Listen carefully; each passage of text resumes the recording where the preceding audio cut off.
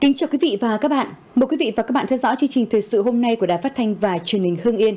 Chương trình chủ nhật ngày 13 tháng 8 và bây giờ là những nội dung đáng chú ý sẽ có trong chương trình. Kỷ niệm 50 năm ngày nhập ngũ của tiểu đoàn nữ Hoàng Ngân 3 Hải Hưng. Huyện Ân Thi bố trí tái định cư để thực hiện dự án đường Tân Phúc Võng Phan. Hưng Yên đẩy mạnh số hóa 25 dịch vụ công thiết yếu. Tập trung phòng trừ sâu cuốn lá nhỏ hại lúa vụ mùa phương án phân luồng giao thông để xây cầu bắc qua kênh Kim Sơn thuộc hệ thống sông Bắc Cường Hải trên đường DH22, xã Vĩnh Khúc. Thưa quý vị và các bạn, sáng nay tại Bộ Chỉ huy Quân sự tỉnh Hưng Yên, Ban Liên lạc Tiểu đoàn Nữ Chiến sĩ Hoàng Ngân 3 Hải Hưng tổ chức gặp mặt kỷ niệm 50 năm lên đường nhập ngũ tháng 8 năm 1973, tháng 8 năm 2023. Dù đã 70 tuổi, nhưng những nữ chiến sĩ Hoàng Ngân năm xưa vẫn hào khí một thời.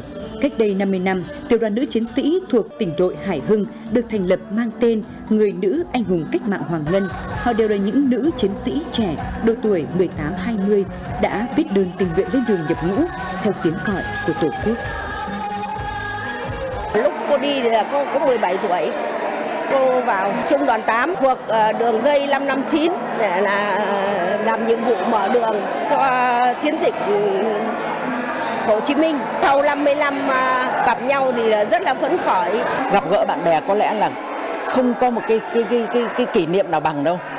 Vì là cô đã đi nhiều tập thể đi nhưng mà khi mà gặp lại không thể bùi ngùi, không thể xúc động bằng cái tập thể du kích Hoàng Ngân Ba này này. Tiểu đoàn nữ Hoàng Ngân 3 Hải Hưng có hơn 400 nữ chiến sĩ, chủ yếu là người Hải Dương và Hưng Yên tham gia. Sau thời gian huấn luyện, vào chiến trường, các nữ chiến sĩ Hoàng Ngân được bổ sung đi khắp chiến trường từ quân khu 4, mặt trận B5, Tây Nguyên, Tây Ninh làm nhiều nhiệm vụ khác nhau như y tá, anh nuôi, thông tin liên lạc, công vụ. Ở nhiệm vụ nào, các nữ chiến sĩ đều hoàn thành xuất sắc nhiệm vụ được giao. Tổ chức được như này rất ý nghĩa có những đồng đội về quê hương mà có khi chưa một lần gặp lại. Mà gặp được lần này là các cô thật sự xúc động. Người mất người còn, có đồng chí cũng để lại xương thịt ở trong chiến trường. Mỗi khi quay trở về trong ờ, cái nghĩa trang liệt sĩ, đi tìm lại những cái bức hình của các đồng đội ở trong, còn nằm lại trong đó chưa đưa được về quê hương. Xúc động lắm. Đến nay, Ban liên lạc đã tập hợp được gần 400 hội viên là những cựu nữ chiến sĩ thuộc tiểu đoàn nữ chiến sĩ Hoàng Ngân 3 năm xưa đang sinh sống trên mọi miền Tổ quốc. Dù kích Hoàng Ngân là bản anh hùng ca bất diệt của chủ nghĩa anh hùng cách mạng, một trang sử vàng trói lọi trong kháng chiến chống Pháp, chống Mỹ vĩ đại của dân tộc. Tấm gương của nữ du kích Hoàng Ngân là biểu tượng sinh động trong muôn vàn tấm gương tiêu biểu cho truyền thống anh hùng bất khuất, trung hậu đảm đang của phụ nữ Việt Nam. Lũy kế đến hết tháng 7 năm 2013, tỉnh Hưng Yên có 527 dự án đầu tư nước ngoài còn hiệu lực với tổng số vốn đăng ký trên 6,6 tỷ đô la Mỹ. Trong đó, Nhật Bản là quốc gia đứng đầu về số dự án và số vốn đầu tư. Hiện Nhật Bản có 170 dự án với số vốn đăng ký gần 3,8 tỷ đô la Mỹ, chiếm hơn một nửa tổng số vốn đầu tư nước ngoài vào tỉnh Hưng Yên. Xếp thứ hai là Hàn Quốc với hơn 140 dự án có số vốn đăng ký gần 900 triệu đô la Mỹ. Xếp thứ ba là Trung Quốc có trên 130 dự án với số vốn đăng ký gần 1,1 tỷ đô la Mỹ. Hiện hai khu công nghiệp là Thăng Long 2 của nhà đầu tư Nhật Bản đang xây dựng hạ tầng, phần mở rộng diện tích và khu công nghiệp sạch của nhà đầu tư Hàn Quốc đang xây dựng hạ tầng, chắc chắn thu hút vốn đầu tư từ hai quốc gia này vào Hưng Yên sẽ tiếp tục tăng mạnh trong những năm tới. Thưa quý vị và các bạn, hai năm trở lại đây đang là giai đoạn khó khăn nhất của cộng đồng doanh nghiệp, khó khăn về thị trường tiêu thụ giảm sâu, đơn giá giảm trong khi chi phí đầu vào sản xuất tăng và bấp bênh, làm cho sản xuất của doanh nghiệp bị đình trệ. Để khắc phục khó khăn, việc chuyển hướng và cơ cấu lại sản xuất là đòi hỏi bắt buộc đối với từng doanh nghiệp. Sản xuất của nhà máy ống thép Hòa Phát qua 7 tháng đầu năm có thấp hơn so với cùng kỳ, nhưng sản lượng xuất khẩu lại tăng đạt 13.000 tấn sang các nước Canada, Myanmar, Ấn Độ. Đây là kết quả của việc chuyển hướng và cơ cấu lại sản xuất mà doanh nghiệp thực hiện để đối phó với khó khăn. Khi thị trường nội địa tiêu thụ giảm, doanh nghiệp đẩy mạnh tìm kiếm thị trường để xuất khẩu và dự báo sản lượng xuất khẩu sẽ còn tăng trong những tháng cuối năm. Cùng với đó, doanh nghiệp đầu tư máy móc để cơ cấu lại mặt hàng sản xuất, chú trọng đi vào những sản phẩm mới. Một là đầu tư dây chuyền sản xuất ống cỡ lớn để thay thế hàng nhập khẩu ờ, từ Trung Quốc và các nước khác. Thứ hai là đầu tư dây chuyền máy cán ờ, nguội tự động để nâng cao năng suất và chất lượng sản phẩm. Thay đổi và cơ cấu lại sản xuất là cụm từ xuất hiện nhiều nhất ở các doanh nghiệp trong thời gian ngắn trở lại đây. Những doanh nghiệp gặp khó khăn càng lớn thì việc cơ cấu lại sản xuất để ổn định và trụ vững lại càng mạnh mẽ hơn. Trafaco là doanh nghiệp sản xuất các mặt hàng thuốc tân dược tiêu thụ tại thị trường trong nước. So với doanh nghiệp sản xuất ở những ngành hàng khác thì mức độ ảnh hưởng ít hơn. Các chỉ tiêu sản xuất kinh doanh 7 tháng qua đều tăng so với cùng kỳ, nhưng không vì thế mà doanh nghiệp không có sự dịch chuyển thay đổi để tự làm mới mình tốt lên, đặc biệt là vấn đề chuyển đổi số trong doanh nghiệp đã khảo sát tất cả các công việc mà À, phục vụ cho cái chuyển đổi số như là tham gia góp ý à, các cái ý tưởng để làm sao mà cái hiệu quả của cái dự án của chúng tôi là tốt nhất. Và với cái dự án này thì chúng tôi sẽ mong muốn là tạo ra những cái hiệu quả trong cái quá trình vận hành công ty được tốt hơn, cũng như là thay đổi các cái quy trình kinh doanh hoặc là các cái trải nghiệm khách hàng. Chính trong khó khăn, theo đại diện nhiều doanh nghiệp, đây lại là quãng nghỉ để mỗi doanh nghiệp tự nhìn nhận đánh giá lại mình trong từng công đoạn sản xuất và quản trị doanh nghiệp chuyển hướng và cơ cấu lại sản xuất từ mặt hàng cho đến thị trường tiêu thụ để hiệu quả hơn là điều được hầu hết doanh nghiệp tính tới như là bước chạy đà sau giai đoạn dài khó khăn để chuẩn bị bước sang giai đoạn mới khi tín hiệu kinh tế được các chuyên gia dự báo sẽ có nhiều khởi sắc hơn từ cuối quý 3, quý 4 năm nay. 6 tháng đầu năm 2013, thị xã Mỹ Hào mới cấp được 291 giấy chứng nhận quyền sử dụng đất, trong đó 160 thửa đất nông nghiệp, còn lại là đất ở. Việc chậm trễ này không chỉ gây bức xúc cho nhân dân mà còn làm ảnh hưởng đến tiến độ giải phóng mặt bằng thực hiện một số dự án. Tính đến thời điểm này, tỷ lệ cấp cấp đổi giấy chứng nhận đất nông nghiệp của thị xã Mỹ Hào mới đạt khoảng 5%, đất ở là khoảng 30%. Trong đó cấp mới, cấp đổi được gần 1.000 giấy chứng nhận quyền sử dụng đất nông nghiệp trong tổng số trên 20.000 thửa. Có địa phương từ đầu năm đến nay chưa cấp được thửa nào như phường Nhân Hòa, Phan Đình Phùng, Phục Trí Kiên, Minh Đức và xã Xuân Dục, Cẩm Xá. Với đất ở mới cấp đổi được gần 131 thửa, trong đó phường Bạch Sam, Phục Trí Kiên, xã Dương Quang, Xuân Dục mỗi địa phương cấp được dưới một giấy.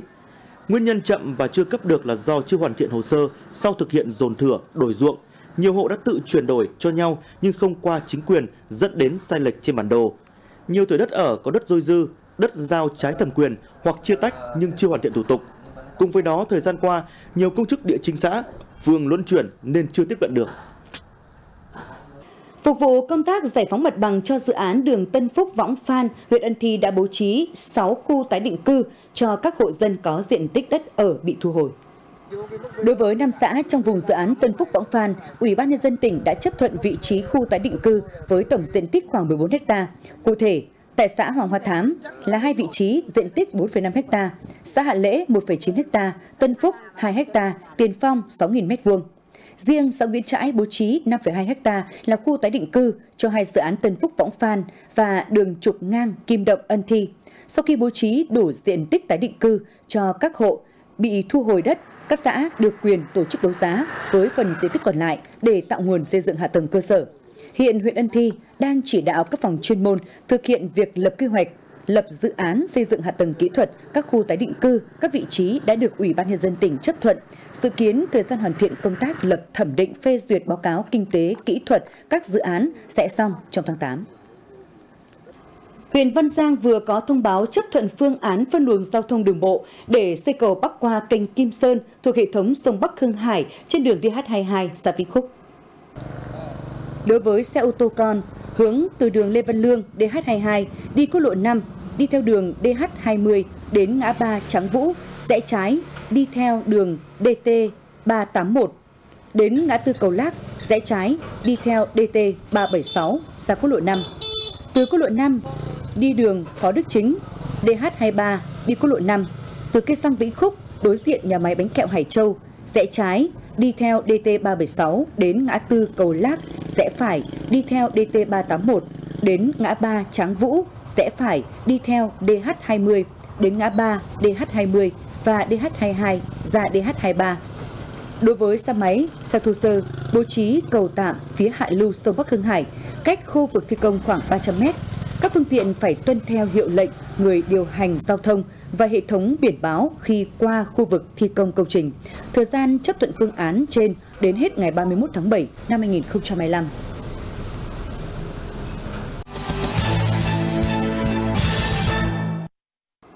Ủy ban Nhân dân tỉnh Hưng Yên vừa ban hành văn bản số 2159 về việc triển khai dạy học các môn ngoại ngữ theo chương trình giáo dục phổ thông năm 2018, theo công văn số 3816 ngày 31 tháng 7 của Bộ Giáo dục và Đào tạo.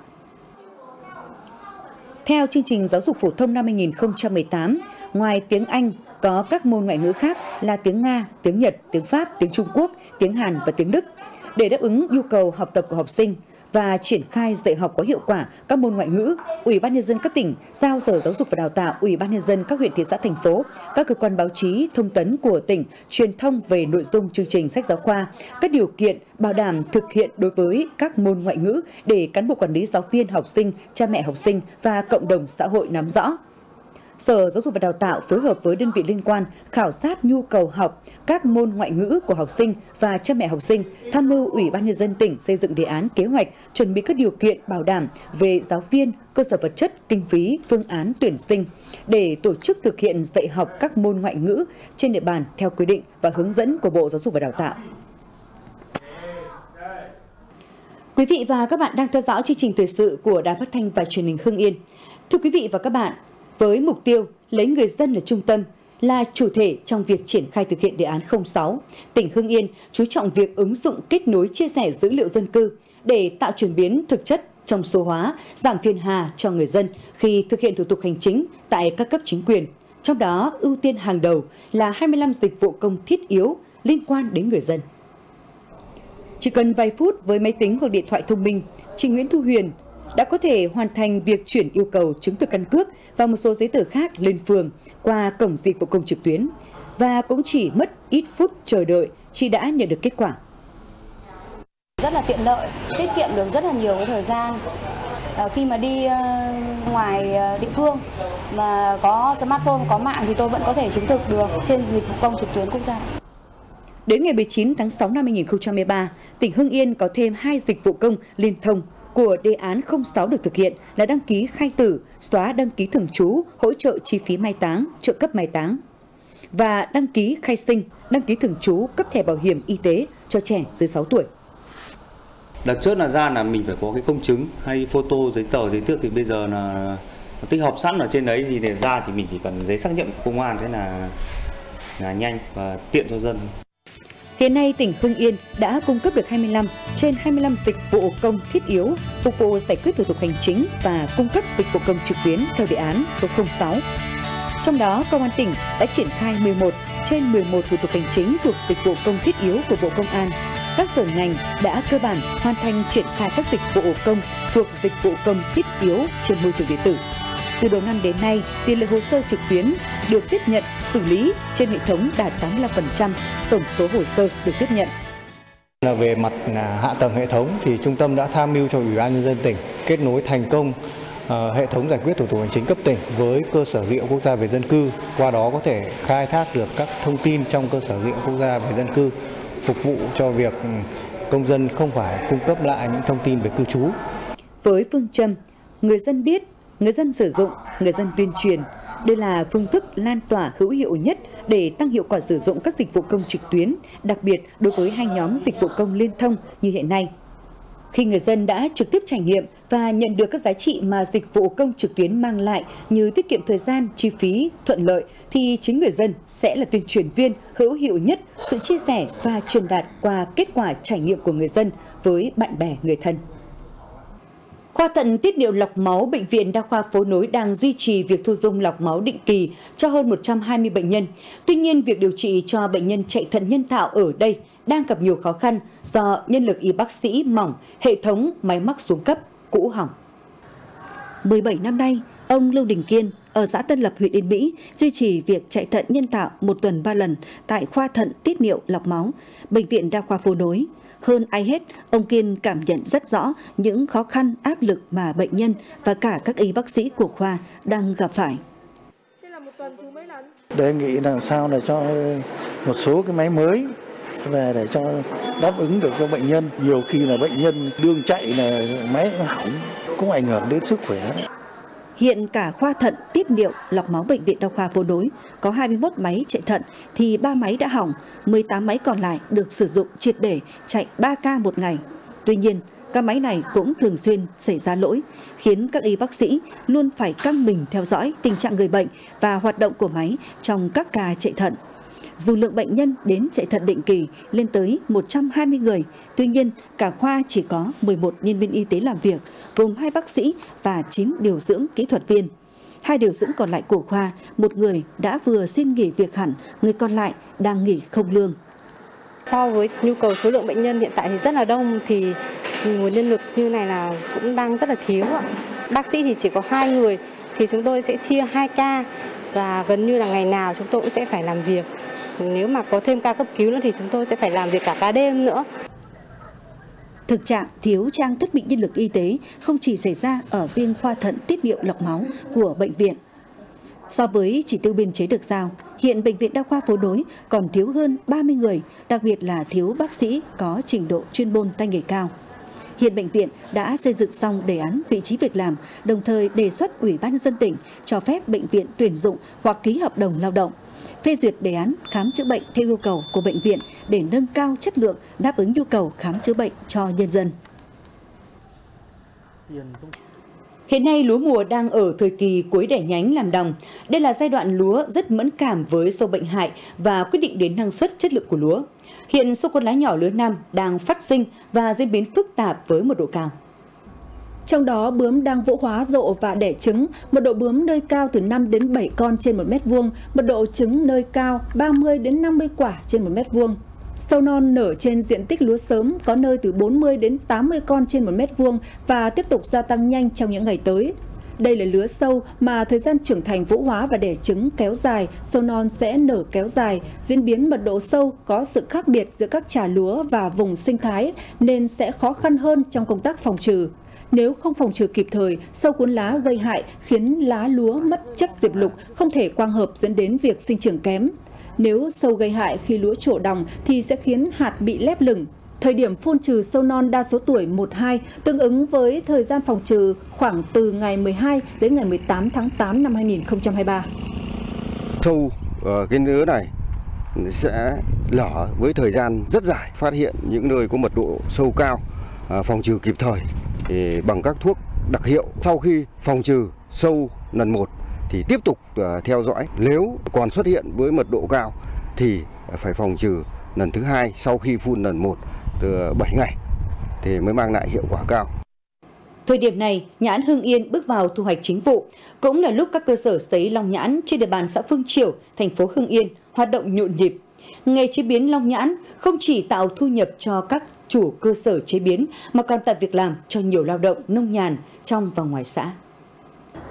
Xã Phương Triểu được xem là cái nôi của nghề chế biến long nhãn. Thời điểm hiện tại, cả xã có khoảng 40 cơ sở tham gia chế biến long nhãn với công suất sấy mỗi cơ sở trung bình từ 1,5 đến 4 tấn nhãn tươi một ngày.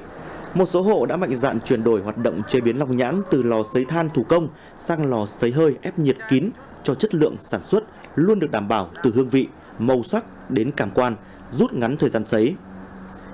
Hiện đã vào chính vụ nên giá bán long nhãn đã giảm hơn đầu vụ, dao động từ 150 đến 180 000 đồng một kg. Mỗi vụ nhãn kéo dài khoảng 2 tháng.